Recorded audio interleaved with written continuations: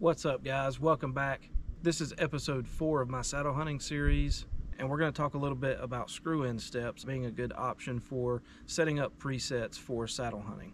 I'm also going to do a demo on how to install them into the tree and show you guys how easy it is to climb with them. If you missed the first three episodes, be sure to go back and check them out. And please feel free to leave me a comment and tell me how I'm doing and what you guys would like to see next.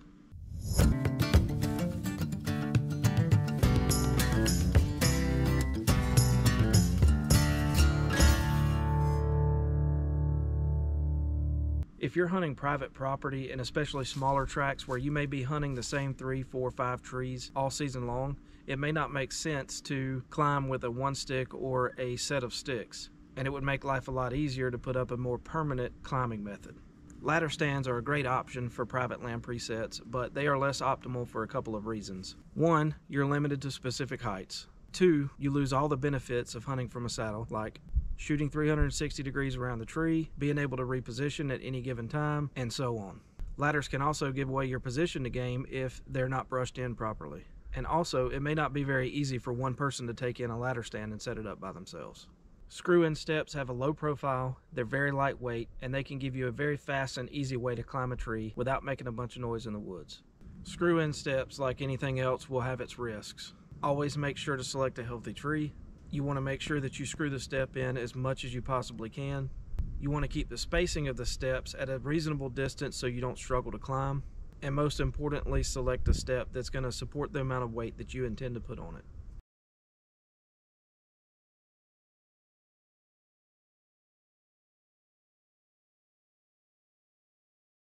So I've done some playing around with the first two steps and I found the most comfortable distance for me is about 18 inches.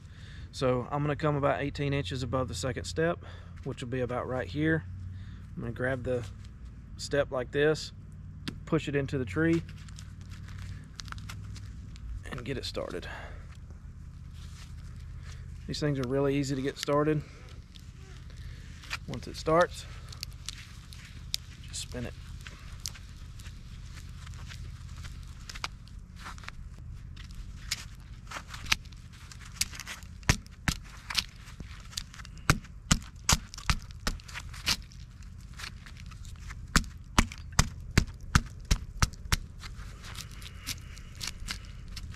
That's all it takes.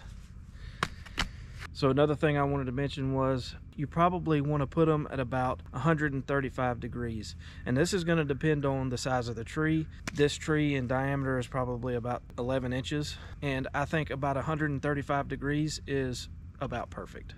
So I'm going to put a few more of these up so you guys can watch me climb and see how easy it is.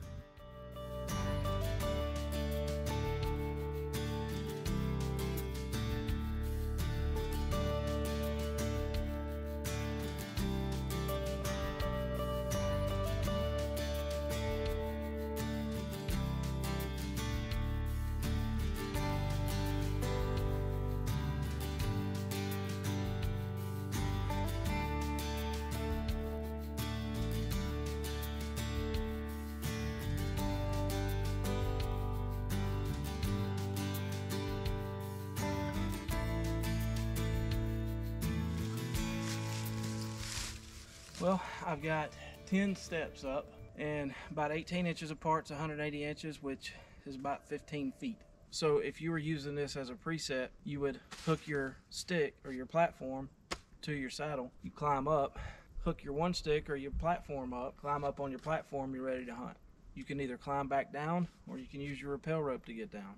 Me, I'm completely set up for one sticking, so I've always got my rappel rope. So that's how I'm gonna get down every time and it was just as easy as rappelling down when I'm one sticking. Say you're a weekend hunter and you want to climb up and hunt Friday afternoon, Saturday morning, Saturday afternoon, Sunday morning, Sunday afternoon. You could go up Friday afternoon, you could leave your rappel rope in the tree, hook it to your saddle, and then as you climb, just keep tightening it up. All right, so you could do this a couple ways. A lot of people don't hook up their tethers in lineman's belt until they get a couple steps up into the tree but I don't have much view of the camera so I'm gonna go ahead and hook my lineman's belt up here and show you how I approach each step.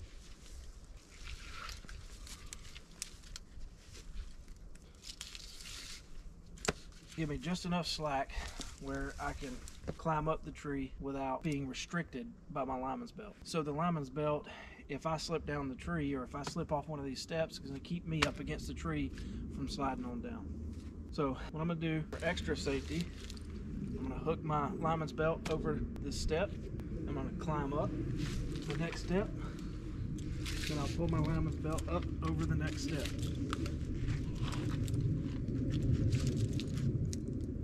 Hands free again. Up again. Lineman's belt over the next step. Hands free again. Step up again. Lineman's belt up over the step. You keep going all day long. So now we'll pretend that I'm on my platform and I'll hook up my rappel rope.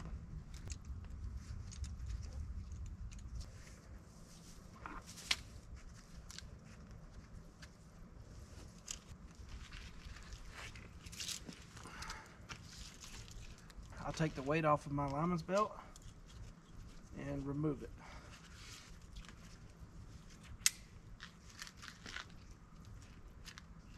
Tuck it into my pouch.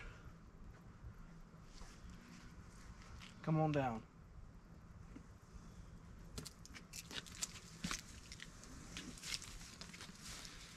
Pull on your bow rope.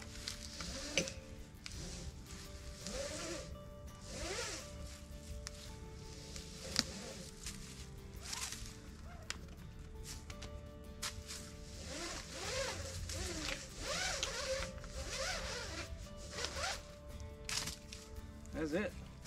So the whole purpose of this video was to show you guys that even though I love one sticking, you don't have to one stick or you don't have to have climbing sticks.